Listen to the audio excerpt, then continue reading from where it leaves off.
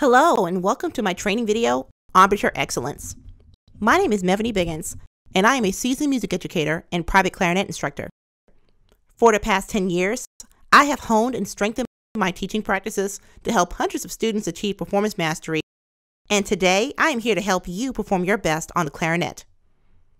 The purpose of this video is to provide you with helpful strategies to correct or improve your embouchure. At the end of this video, you will have the tools to establish a firm and stable embouchure to produce the proper tones for the clarinet. Best practices. For directors, this training video can be shown to your students as a supplementary guide during your sectionals or during your one-on-one rehearsals. For students, you can watch each video and use the corrective strategies to diagnose problems in your students' playing. Each training video is short and sweet so that you can get to view these tips and get right back to working. Now, Let's begin. Embouchure formation. The embouchure is the most important foundational technique that a student can learn. Here are a few steps to a basic clarinet embouchure. Steps to a good embouchure. First, separate your teeth slightly while keeping the lips together, like this.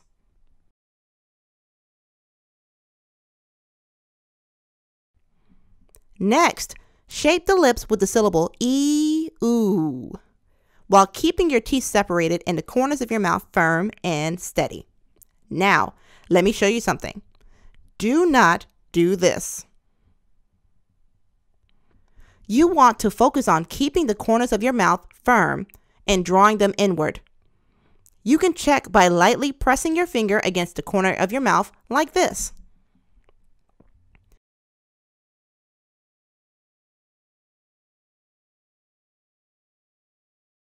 Next, make sure that your embouchure formation is fixed and unmoving.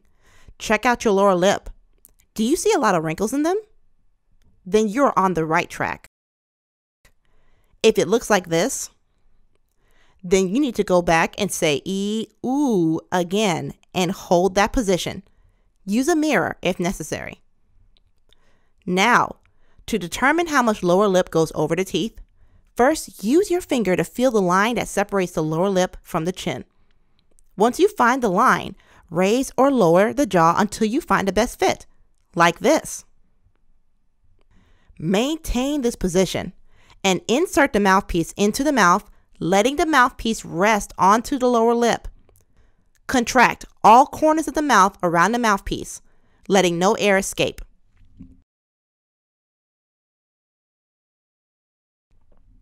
The upper teeth rest on the top of the mouthpiece, about a half inch from the end. The lower teeth support the lower lip. Please do not bite. This will not create a great playing experience for you. If you have maintained the embouchure formation throughout this process, you will realize that the chin is already in a firm, flat position. Do not force the chin downward or bunch up your chin like this.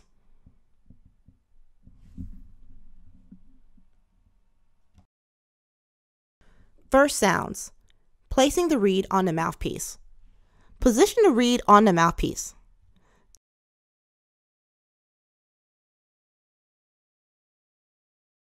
Check to make sure the top and bottom are centered on the mouthpiece. The reed is in proper formation if you can see a thin hairline of black when the tip of the reed is pressed against the tip of the mouthpiece. Next, place the ligature with the screws loosened about halfway down on the mouthpiece.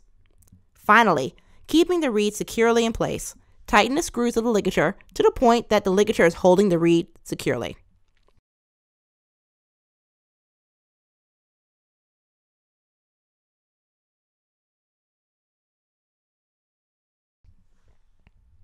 Mouthpiece barrel exercise duck calls. Take the mouthpiece and barrel and place it inside your newly formed embouchure. Using a standard but fast moving breath, produce a tone by blowing into the mouthpiece. Do not use your tongue to start the tone.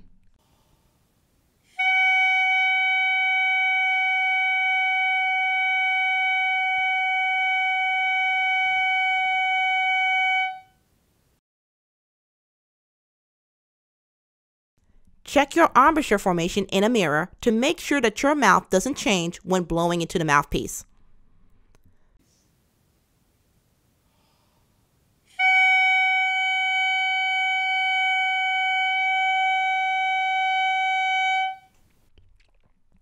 Continue practicing with the mouthpiece and barrel until a steady, natural tone of F sharp concert emerges and can be maintained for at least 10 seconds. Like this.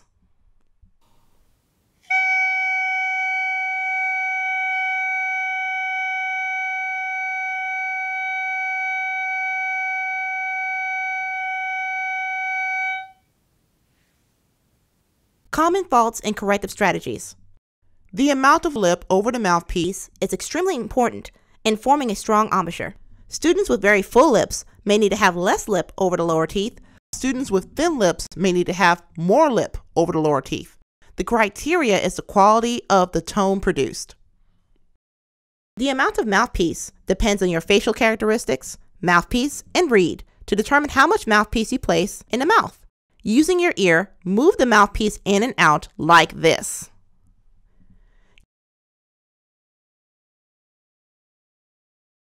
You make these adjustments to find the best position in the mouth to support the reed. Type of mouthpiece. Warped, chipped, and low quality mouthpieces have no place when it comes to producing a great sound on the clarinet. One tip is to go to your local music store and ask to try out several mouthpieces until you have the best fit. My personal recommendation for student level clarinet mouthpieces are Vandoren B45, Vandoren 5RV, Vandoren M13, Vandoren M30. You would want to play several notes in the lower, middle, and upper register on each mouthpiece until you find a match that gives you a tone with great support, plays in tune, and is easily controlled. Biting. Biting the reed is a common problem within young players. Too much pressure against the reed restricts the vibration and produces a thin, stuffy tone with no body, you reduce this pressure immediately by opening the jaw, thus freeing the tone. The position of the lower jaw in relation to the lower lip must stay the same throughout the entire range of the instrument. Chin muscles. Beginners tend to suffer from failing to keep the chin muscles firm. Instead of firming, they like to bunch them up and as a result, bite instead.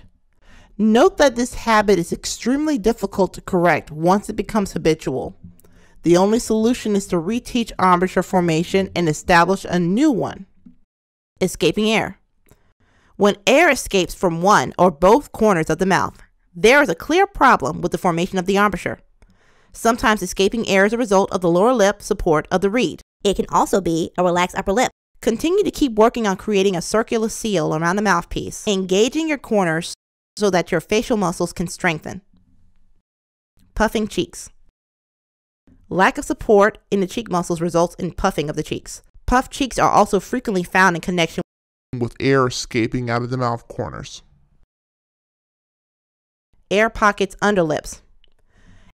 Air under one or both of the lips lessens the support of the lips around the mouthpiece resulting in tonal loss.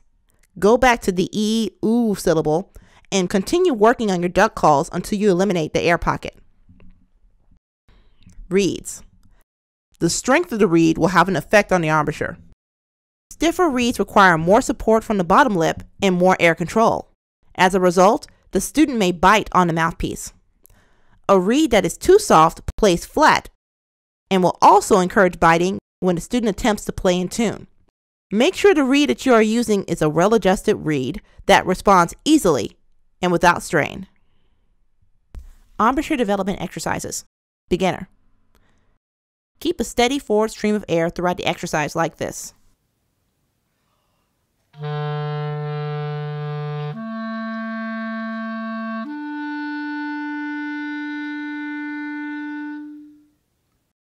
Do not move the lips or jaw as you ascend upward and strive to produce a focused and clear sound at all times. Intermediate. Playing in the clarion or middle register on the clarinet, each note should have the same clarity as the note before, like this.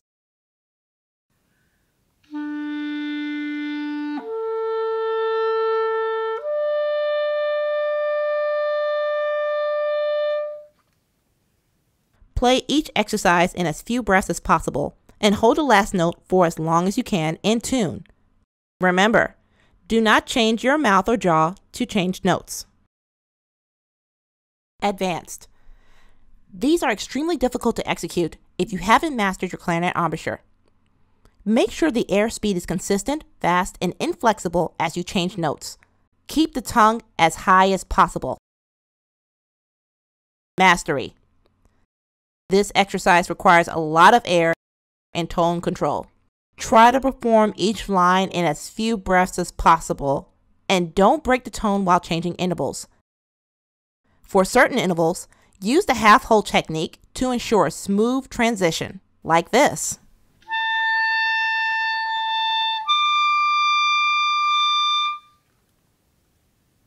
Exercises and interval playing.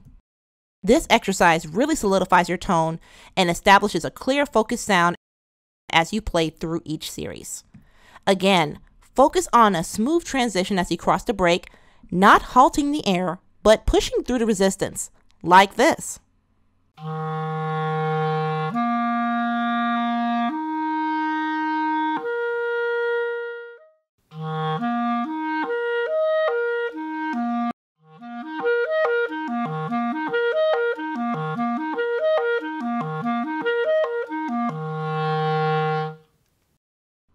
Embouchure development exercises. The approach to this exercise is relatively simple. Keep the tongue high and forward in the mouth and keep your air consistent and fast. Also, when pressing the register key, do not allow the note to pop like this.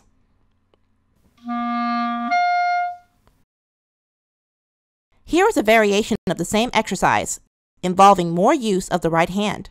Keep in mind that you want to use the same tips in the first exercise, tongue high and forward, and firm embouchure grip to keep the air steady and forward.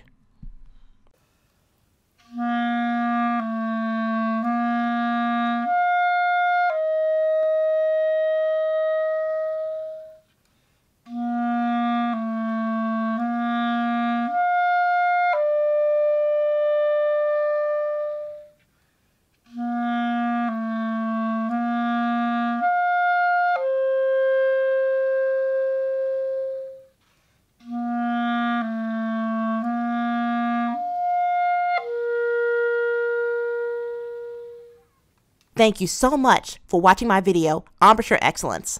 Remember that perfect practice makes perfect performance, and small wins turn into big accomplishments. Thank you for watching.